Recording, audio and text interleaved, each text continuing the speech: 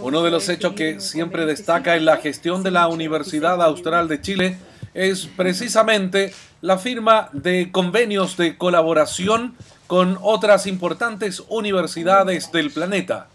Un preacuerdo de colaboración fue el que firmó la mañana de este día viernes la Casa de Estudios Superiores más importante del sur austral del país